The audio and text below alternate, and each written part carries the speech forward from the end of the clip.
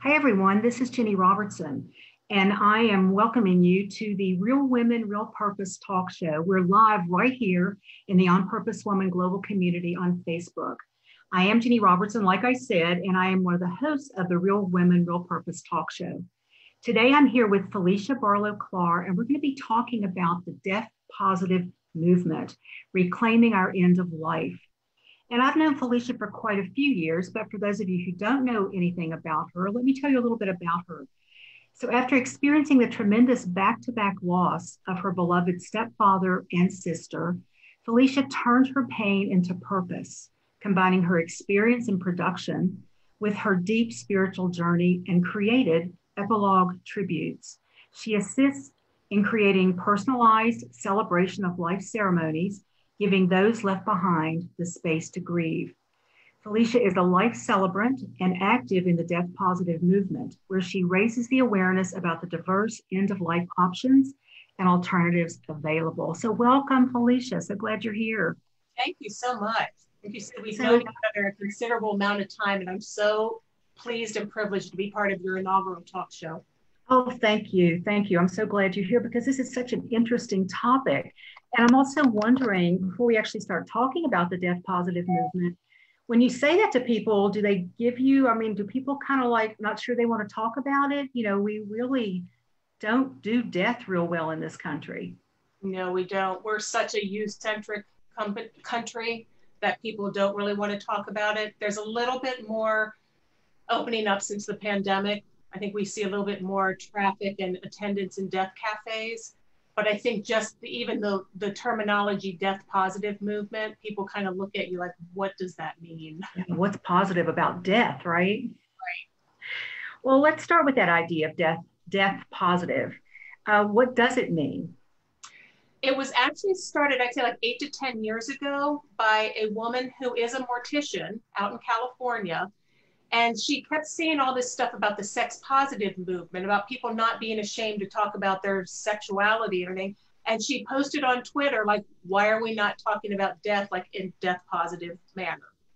And that's what kind of started the whole thing. And she got a lot of people saying, like, yeah, I'm not ashamed to talk about death or fearful. Wow. So sex positive, it started out as that or not really that, but just that was an idea. And if somebody said, well, we could do that with other things, including death. Yes. That's really interesting. So, how did you come to do this work? I kind of stumbled into it after my sister and my stepfather passed away because I was already an event producer. I have like 25 plus years as an event producer and video producer. And so it, whenever there's a death in my family, it just sort of naturally falls on me that I'm the one that has worked with the funeral homes to collect mm photos and work with the video and just kind of assemble everything. And it's just like a natural familial thing that, that has happened. And with my sister, my sister died a pretty tragic death. mm And I knew that she would not want to be remembered how she was the last few years of her life. She died of alcoholism. It was very mm tragic and she was the funniest person I think most people have ever met. She had that kind of comedy like Jim Carrey and Ellen DeGeneres, like just really out there. And I knew that that was that would be how she'd want to be remembered. So when I started thinking about how to do her service, I um, thought about all the old songs, country songs she liked. I put all of those into her service. Worked with Reverend Jim Webb on her her service, and at the end, I asked her children what song they would like in her service, and they said, "Well, you know, she always made us listen to Shaggy's Mr. Boombastic on the way to school and on, you know, on the way home." And she would send me the video of Mr. Bean dancing that to that song all the time, and we would just laugh. And so, at the end, we were like, "Okay, well, we're going to play that song because that's for her children." But I could hear just hear her telling me the day before. She's like, "You all have to get up and dance." Like it's not just good enough that you play that song, you have to dance. So we we kind of made a pact between the family that at the end we would all get up and dance, and we did. And you could just see the people in the room that knew my sister and knew her spirit light up and come and join us in the front of the room dancing. And so it really did turn into this complete celebration of her life. Wow, what a tribute to her.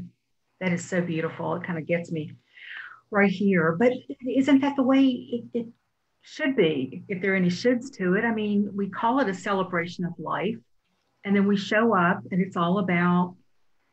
I remember going to one one time, and nobody would say anything. They hadn't set up anybody to talk about the person in advance, and nobody would say anything. And I didn't really know the person well enough to say anything, but yet I said, I stood up and I said, um, you know, I was only knew her a little, but every time I was around her and I was able to say something that was true.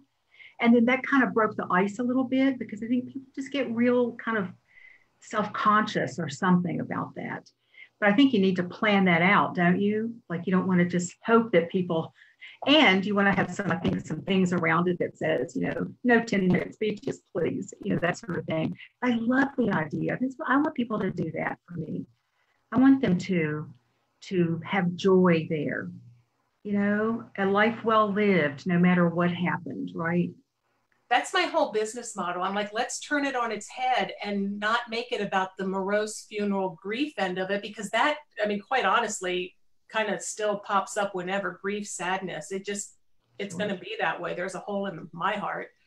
Mm-hmm. Um, so I really truly believe that the celebration of life should be about telling that person's story. Mm-hmm. And I, I have that firm belief that, you know, we all come in with such a unique combination of our gifts, our education, our experience, our family, that we are so unique. Each one of us is so unique, and that's what needs to be celebrated. Because there's only going to be like one of us in like this one lifetime. That's so true. That is so true. And I, I, like what you said about, you know, this doesn't mean that you leave and you feel great forever. It just means that in that moment when it most matters for this celebration, you can actually show the joy and the joy that she brought to all of you.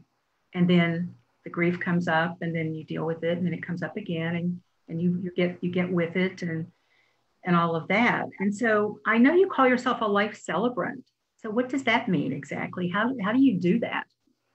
Other than celebrate life, you know? Yeah, I, I think it's just what I said. Like when I was trying to come up with a, you know, a title for myself, I did a little research and I said, well, what am I doing? I'm celebrating life. So mm-hmm.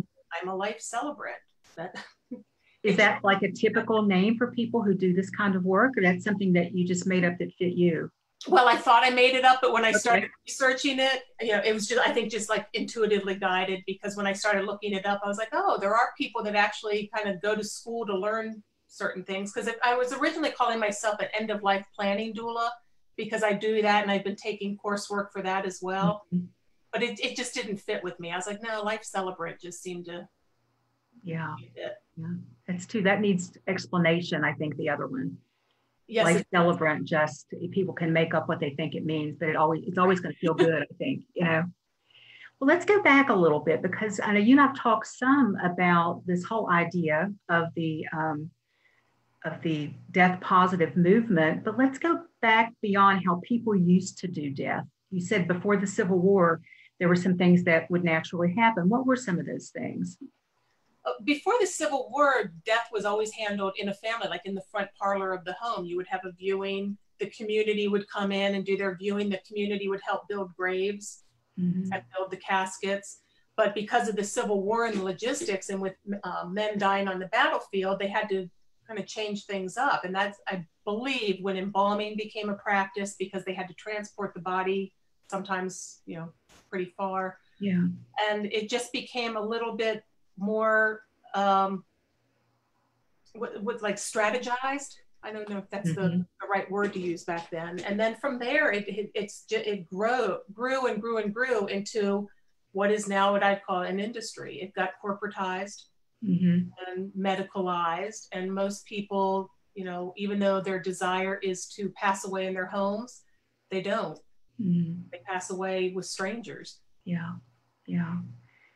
And so we took all the heart out of it, I guess, didn't we? And the opportunity for people to honor, because what an honoring for someone to come in and care for a body, right? That, that makes me weepy because that is one of the things that I discovered that I didn't know about when mm-hmm. my sister passed. My mother and I spent so many years trying to save my sister, mm-hmm. and that would have been a home body washing, would have been, I think, the last like sacred ritual we could have done mm-hmm. with her and I had no idea that that was even an option because the funeral home never even told us that was something that mm. is available. Are they, are any of them kind of getting with the times yet or and offering these things? Or would you, as a life celebrant, kind of intervene for the family with the funeral home and saying, here's what we want, here's what we'll be doing, right? Yeah. Okay. But most people aren't aware that, at least in the state of Maryland, there's only two things a funeral home is required to do, and that's the death certificate and the transport of the body. And even the transport of the body can be questionable. It's just easier, like especially in our area with you know the DC, Virginia, Maryland, it's easier to have a funeral home do that because of the Mhm. borders. Yeah. But that's pretty much all they're required to do. Embalming is required though? Embalming's not required. It's not? See, I didn't know that. No. Wow. Wow. That's very interesting. So really that is all they, they have to do. Yep. And they can transport, but they can transport, it to your home if you wanted. Correct. Oh, Yeah. okay. Wow. Yeah, and you can still do viewings at home and all that, even without the embalming. But of course, you, you know, it'd probably be like a one day versus a three day Right. But a lot of people are choosing to be cremated these days. So that takes that issue totally away. And then you can do the celebration when it's a great time to do it. Correct. So, and that is the reason why there is such a, I think, a, um, a schism right now is that you've got the funeral homes, I think, that still want to hold on to the old things that they know and that they know to do. And then you've got a lot of practitioners now showing up that know that no, you don't have to do it that way anymore Mhm. because cremations have risen so dramatically in the last few years and the industry, the funeral industry has not kept up with that. yeah. I remember being so surprised when my parents told me they wanted to be cremated because they had, when, when they lived in West Virginia, they had funeral plots. You know, when you bought your funeral plots, they even had their tombstones already engraved with their birthdays and their names. And when they moved to North Carolina, I can remember we, we helped them move and the movers had left and I got, went out to the garage and there were these things like covered in moving blankets. And I took them off and it was their tombstones, these gorgeous marble granite, I think they were granite tombstones. And I was like creeped out, you know, like, oh God, well, you know, well, we're going to buy new plots down here. But at some point, I remember my mother saying, um, we don't want to take up any space. Why would we take up space? And that was quite interesting because, you know, my parents were born in the 19 teens, you know, 13 and 17, and that wasn't a common thing among, I think, people of that those generations. And so it made it made it very much easier for us then for what we were able to do for the celebration, you know, because we had time for family to come in. We had time to plan something that would sort of reflect who they are. Mhm. So you're a life celebrant. So what do you most love about it? I I've always been an advocate for like the the animals for one, things that don't have a voice, children, animals. Mhm. That's how I feel with this. I feel like I am a voice for the death positive movement and opening up people's eyes to realizing like for one, you know, death is a natural part of life. It it just is. And the more we talk about it, I think the more it gives us the privilege to really celebrate our own lives while we're living. We can go do things that you know, we may not live tomorrow. We don't Right. know. So I think it gives us that permission Mhm. to do that. But I really like just opening people up to this conversation about the reverence for life. Well, you're probably a really lovely person to have on hand when somebody is going through this. I imagine they get great comfort from someone like you who is is coming from a different place than maybe you know in every funeral i've ever been to in a funeral home they've always been you know very professional and very um, nice and very right on it and done the job well but i've never had to, to deal with someone from from you know my loved one i didn't have to make those arrangements for my loved one and so i just imagine it would be wonderful to have someone that felt like was holding my hand through this and kind of hearing what i thought that the person wanted or what I knew the person wanted. So that must be very fulfilling. It is, and that is really my mission is to take a lot of those things off the family's plate so that they have that space to grieve. You know, that's Yeah. the thing, you know, when you're thrown into a funeral at you know within a week after somebody passing, Mhm. there's so much to do. Yeah. So you're on the doing and not even feeling. Yes. And then that can come like a huge wave. Yes. Here. Yeah. Yes. Surprise. I remember, you know, you shared the story about your sister's service. And I remember um, at a meeting one time you shared about the service that you did for your stepfather, who sounded like he was way, way a father um, for you. So, talk a little bit about that service because I think it's another great example of all the choices that we have on how to celebrate our loved ones. My stepfather was one of the most amazing people I've ever met, and he was a true pioneer in the city of DC. Um, during the mid 60s, you know, did so much within the civil rights movement. And anyway, his whole family did. Um, so his, I mean, that was a little bit tougher for me because I was so close to him. But one of the things that we did was his favorite color was red. And so we kind of just did, you know, the phone call, everybody wear red, you know, he wouldn't want us all wearing black. Mm-hmm. And um, he and my mother were pioneers in in marrying in interracial marriage back in the early 70s. Mm-hmm. And so one of the things we did, my family has a kind of goofy sense of humor too. One of the things that when the menus were going around the table at the funeral home, we were like, well, we've got to have the, the blondies and the brownies, you know, just as a little significant message wise. Wow. Yeah. And then again, of course, you know, I picked out all the pictures for his service and made sure that they sh- showed what an important person he was, as well as the side of him that the people that did show up that had worked with him at one time had no idea. Like he, he had this silly side to him too. So you got to celebrate both sides with everybody. Yeah. Wow.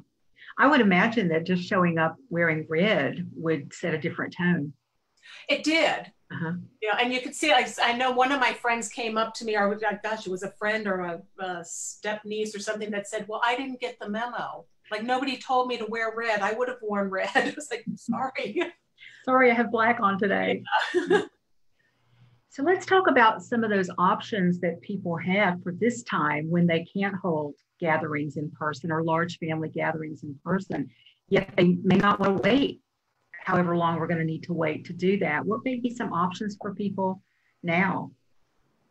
Well, one of the things I'm doing now is writing workbooks to help people do end of life planning. Nice. Because yeah, and that's part of the death positive movement as well, is to get people in action about planning their end of life, reclaiming their end of life, because most people leave it, 70% of the population leaves it for somebody else to decide how the, the funerals or memorial service is going to be, you know, whether they're going to be cremated.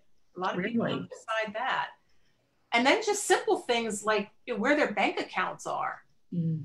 you know and it just amazes me that it has been a part of our culture that we just don't deal with it. And it's not that hard you know really to sit down. My husband and i did a trust gosh probably 10 years ago to handle all these details. Mm-hmm. and that's the legal aspect of it. I'm going to do something that's a little bit more the personal planning part of it and also planning their celebration of life. Mm-hmm. Because a lot of people like, I don't know what your favorite song is. You know, I don't even know what my mother's favorite song is. I know some of the ideas she wants for hers, but I need to sit down with her and go, okay, let's, you know, pick out your favorite photos and your songs and your color. So. Do you think there's just this still superstition that if we talk about it, it, it's going to happen? And if we don't talk about it, it won't happen? Is that what a lot of this is about, do you think? Definitely there's actually a woman out in Arizona who for years she she calls herself the death doyen doyen and she that's part of her line is you know it's like um, sex. If you talk about sex you're not going to necessarily get pregnant. And it's the same thing. So she, she equates that to you know if just because you talk about death you're not going to die tomorrow. Yeah. There is this taboo around it. I remember even you know trying to talk to my parents when they weren't weren't sick and I didn't, you know, just to talk about is everything, well, you know, our everything's, you know, they wanted me to be the executor. And so they told me what I need to do, where everything was, who the lawyer was, who was going to be handling everything. But I said, well, what about a memorial service? Oh, just do, you, you girls will figure that out. So it's almost like they also, and maybe it was the generation, they didn't think that they should, that they should have anything to say about it or that maybe it'd be more of a tribute if other people did it. I don't know what was going on there, but I think a lot of it was let's just not talk about it right now. You know, and I think it's really important. Don and I've had this conversation because I would not want to do something I, I think I know him well enough to know, but what if I did something that in retrospect I go, oh, I think he would have hated that, you know? I don't really want to be put in that position. So anything else you'd like to say about this? Because I just I find it to be such a fascinating topic. Anything you'd like to add that we haven't covered? Well, there's so much to it. That's what I found like in the year and a half since I started doing this. You know, like I said, I, I took my event company and just niched it down to this. And, you know, because I have. You're not doing any other events other than this now? Right now. Wow. Okay. And if something else came to me, like I, I do still broker entertainment. I've done that, you know, somebody singing on the National Mall. So I still, you know, accept business. But my marketing focus is on doing this because I just think it's so important. And like I said, the more I started doing research on it, the more I realized there is so much out there. You know, green burials, making your own casket. I have somebody in my um, business circle that is now thinking about doing woodworking shops to help families build um, create their own urns for loved ones there's you know different ways of things that you can do with ashes from mm-hmm. jewelry to planting it in a tree or in a coral reef. And there's uh, destination ash scatterings. There's so much virtual. And you know people kind of talk about virtual like it's something new in terms of funerals and it's not. There is a whole company out there that's been doing webcasting specifically for funeral homes for years. So it's not something new but there there's sort of this stigma around it with funeral homes even. So a lot of people are putting off doing their services because they don't want to do it virtually which i can understand that because there is something about gathering in person. But it it shouldn't be stigmatized at the same time. Mm-hmm. um, it seems like it might be i see it it would be a great idea to go ahead and have something virtual especially now and then have a celebration party or something to bring everybody together mm-hmm. you know to talk about that person down the road whenever we can if because it may not feel like they're they're honoring them enough if it's virtual mm-hmm. if they want to wait but i think about all the people that are waiting and how many funerals are going to be held like next year yeah i can't imagine there's going to be funerals this year and anywhere in the country where you could have more than 10 people right. i'd be surprised by that and yeah. so it's going to be like this this and then this just massive kind of re rethinking everything, redoing everything, mm-hmm. refeeling. Not that you haven't, not, not that you've stopped feeling, but just just going through all that work, you know, that isn't necessary. At least I don't think it is. So I'm all for that because I think I can, I, you know, I can get into the let's make sure we do this right kind of thing and make myself nuts. So I really love that whole idea, Felicia. Thank you for doing this work. Yeah, and I have on some some what I now call, and I I bought the domain name immediately when somebody said it to me, a Zoomerl. Um, yeah. Really, you bought the, that domain domain I, that's still out there? I, a. Well, it wasn't when I looked it up. There was somebody that has it, but they actually it's regarding numbers. So I bought Zoomerl service and spelled two different ways. But I thought I was like, that is so clever. It is clever. And I agree with you. Like, why not do something immediately? It's not expensive. And I've been on them and they can be so emotional. You know, when you do a candle lighting ceremony, mm-hmm. you know, have a, a officiant, yeah, you can do them the right way. And I would think that would also bring some peace to the family or the other loved ones because they're doing something now and not keep holding in their mind, oh gosh, we haven't been able to do anything yet. Oh no, I feel so bad that we can't honor our father or whatever. But you could do that now. And then at a later date, if you want to do something else, do something else. Have a potluck, you know, just do right. something else. But I just imagine that would that would be a relief to some people to be able to do that. But I guess it's going to take a, a re-education and a reinvigoration of, of this whole death positive movement. Yes. I love it. So, how can people find out more about what you do and get in touch with you? Well, my website is celebratingthedash.com for anybody that's ever read that poem out there called The Dash. Um, that's the life lived between birth and death. And that's what mm-hmm. my whole company is about is celebrating that life, that line. So my website, celebratingthedash.com. Um, there's information on there on all the different services I do, from virtual services to pet services, because I am, like I said, an animal advocate. Oh, I'm glad you brought that up. That's great. Yeah, and I have my own little altar. In fact, the picture on my website is my altar of all my animals. So, yeah, um, as well as the picture of all the little old black and white photos is my family's old black and white photos you'll see on there. But mhm. Um, I have all my different offerings, concierge services. If people don't know what to do, where to start, I did have a concierge company years ago, so very familiar with doing that. And So you think they could take you, you could take them right from the beginning of, I don't have a clue, right, and walk them through some ideas that they might, might resonate with them. Yeah. Right. And there are a few companies um, popping up now, other people doing this, but I'd have to say the thing that sets me apart is not only do I have years and years of event planning experience, uh, I, I, event production is bigger than event planning, Mhm. um, but also, like I said, I'm doing the end of life care doula, which is sensitivity training, which I'm already an empath as it is. So this just helps me to understand the whole process of people going through hospice and what is kind of expected at the end of life to help Okay. people. Would you work with anyone? Could a family call you in for that purpose as well, to be with their loved one or to just sit with them with their loved one and maybe talk about some things? Or would that just be left up to hospice like I- usually? I know a lot of end of life doulas. That's part of the death positive movement as well. Mm-hmm. People that actually do that. I could do that, and I have done that with my own loved ones and like my mother's best friend. It's not something I want to do though. Right, It doesn't feel like my calling, Mhm. but I certainly know plenty of people, you know, because I do help co-host the Annapolis Death Cafe. Like the woman that I work with, she is a lovely person that does that, The Annapolis Death Cafe. which is coming up tomorrow night, 6:30 on Zoom. And what is that? Say more about that then. Death cafes were started in 2011 in England by a person, you know, wanting to talk about death and not making it a grief counseling group or morose or anything, just people that have this natural curiosity about mortality and or grief or, or life and wanting to talk about it. So the only rules are that you drink tea, of course it's English, eat cake, and not have an agenda. There's no speakers, no agenda. So it's just a Mhm. group of conversation. It's a discussion. Is it open to anyone who wants to come or? Yeah. In fact, on deathcafe.com, because everything's on Zoom right now, you could go to one in England if you wanted to. Okay, so deathcafe.com. Thank you for that. That's fascinating. I'm have to definitely show up for one of those. So it looks like we're about to wrap up here then. Felicia. Thank you so much for being with me today and for talking about this death positive movement.